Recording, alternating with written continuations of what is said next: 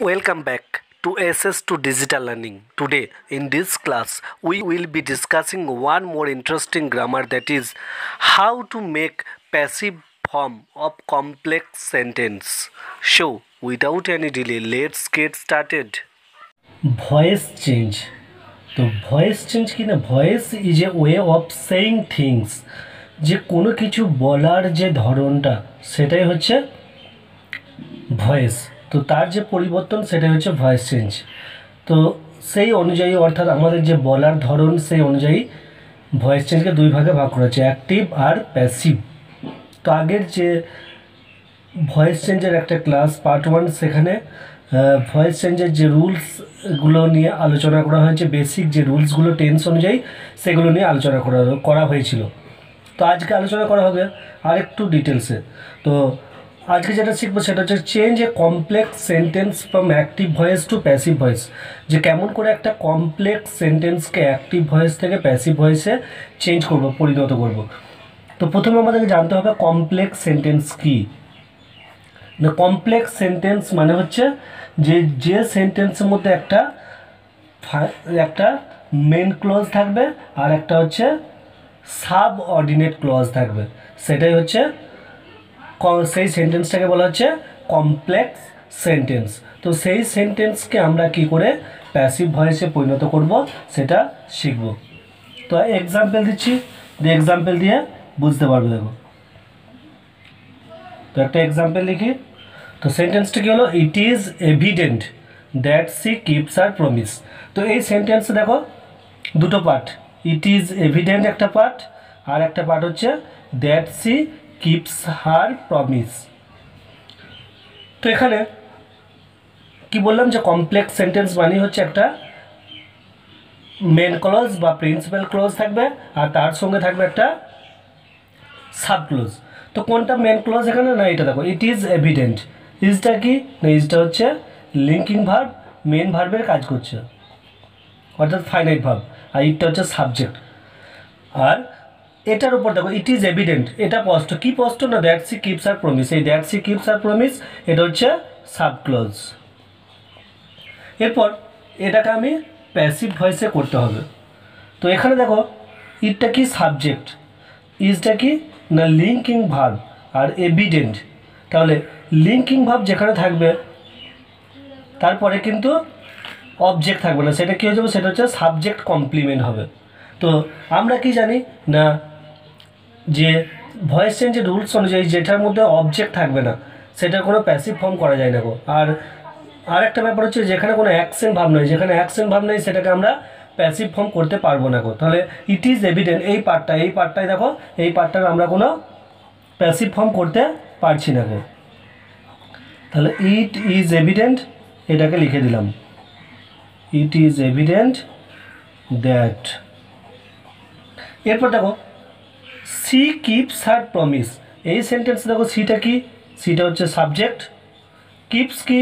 না কিপস হচ্ছে main verb main ভার্বের কি আছে? না কিপের সঙ্গে এস যোগ আছে, অর্থাৎ সিম্পল প্রেজেন্ট টেন্স আছে। আর হার প্রমিস এটা কি? না হার প্রমিসটা হচ্ছে অবজেক্ট তাহলে সাবজেক্ট পেয়ে গেলাম মেন ভাব পেয়ে গেছি অবজেক্ট পেয়ে গেছি। এরপর কি করতে হবে? না, এরপর আমরা চেঞ্জ করতে পারব। তাহলে কি হবে? হার্ড প্রমিস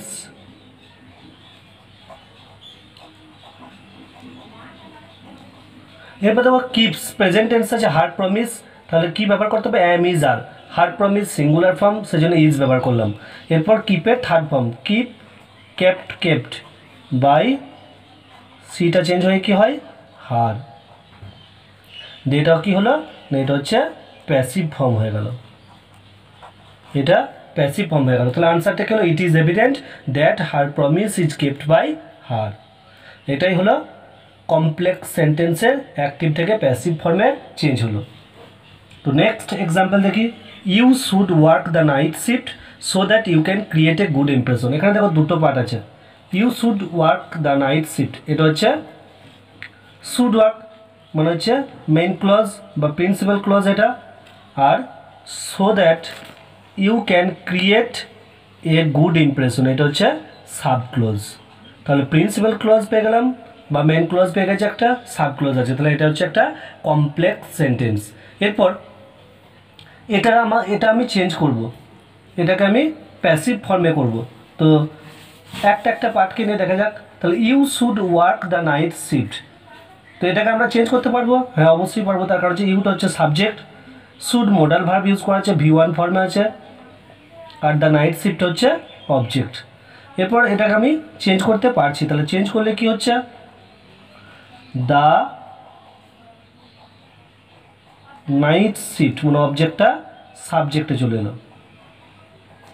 এরপর কি আছে? মোডাল ভাব মোডাল ভাব থাকলে কি করতে হয়? বি ইউজ করতে হয়। তাহলে the night shift should be এরপর ভার্বের V three form worked by তারপর সাবজেক্টটা অবজেক্টে চলে এলো। ওকে তাহলে এই পার্টটা হয়ে গেল দেখো। You should work the night shift the night shift should be worked worked এরপর কি? না, যখনই আমরা কমপ্লেক্স সেন্টেন্স করব, এই পার্টটাকে আমি উজ্জ্ব রেখে দেবো। ওকে তারপর যে লিঙ্কারটা সেই লিঙ্কারটা ইউজ করছি। সো দ্যাট ক্লজটা সো দ্যাট এরপর এই পার্টটা দেখো ইউটা হচ্ছে সাবজেক্ট ক্যান ক্রিয়েট আবার ফিউচার মানে মডাল ফর্ম আছে। Modal auxiliary can R V one a good impression আবার এটাকে আমি চেঞ্জ করতে পারব।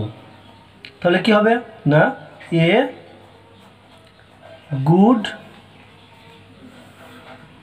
impression can be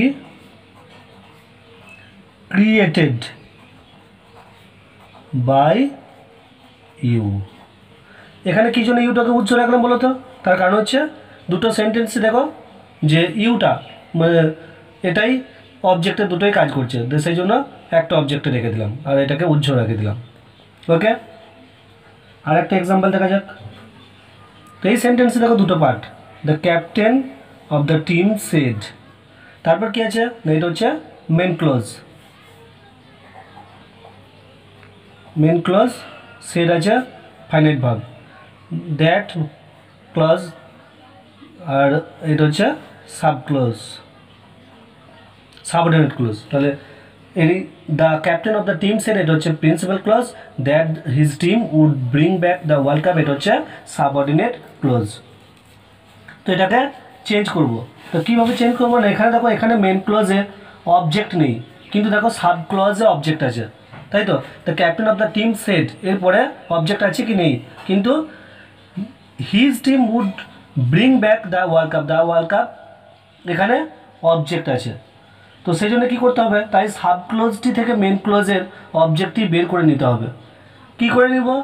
না সাব ক্লোজ থেকে মেন ক্লোজে অবজেক্টটা বার করে নিতে হবে। The captain of the team said কি বলেছিল? না that his team would bring back the World Cup যে এটা বলেছিল। তাহলে আমি যদি এখানে অবজেক্ট হিসাবে ইট ব্যবহার করি, তাহলে ভুল হচ্ছে না। দেখো the captain of the team said it এটা বলেছিল। কি বলেছিল? না, এই যে, এই কথাটা his team would bring back the World Cup তাহলে এই ইটটা ধরে আমরা এখানে ইট ধরবো। যে সেটাকে অবজেক্ট ধরে চেঞ্জটা করব। তাহলে কী হবে আনসারটা না it was said by the captain of the team it was said by the captain of the team. That his team, কি বলেছিল? না, his team would bring back the world cup. Okay দেখো এখানে। তাহলে I was it was it was said by the captain of the team that কি বলেছিল না, that his team would bring back the World Cup. তো এটাকে change করলাম না, কী জন্য? ইটটাকে অবজেক্ট করেছি এবং কি বলছে সেটা লিখে দিচ্ছি। তো সেই জন্য এটাকে আর প্যাসিভ ফর্ম করা যাবে না। তারপর দেখো একটা though he had studied everything well he forgot it at the exam hall তাহলে এটার আনসারটা কী হবে না? এখানে দেখো। Though he had studied everything well he forgot it at the example দুটো পার্ট আছে কমপ্লেক্স সেন্টেন্স এরপর এটাকে আমি চেঞ্জ করব। যে লিঙ্কটা দো ব্যবহার করা হয়েছে, সেটা লিখে দিলাম। এরপর দেখো এখানে সাবজেক্ট কি? He had studied past perfect tense আছে এভরিথিংটা হচ্ছে অবজেক্ট আর ওয়েলটা হচ্ছে অ্যাডভার্ব তাহলে এভরিথিং দিয়ে শুরু করতে হবে though everything had been, though everything had been studied well,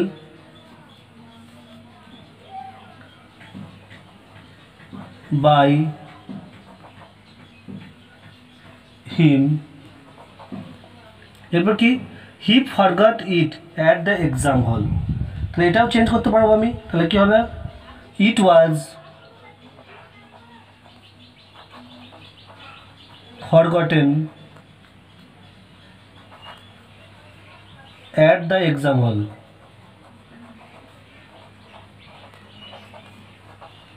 At the exam hall. এরপর এখানে বাই হিমটা আর ব্যবহার করছি না। তার কারণ হচ্ছে এখানে ব্যবহার করে ফেলেছি, দেখো। আবার সেই বাই হিম বলতে ওকেই বোঝানো হচ্ছে। কিন্তু সেই জন্য আর ইউজ করছি দেখো। ওকে বেশ। আর একটা দিচ্ছি, দেখো।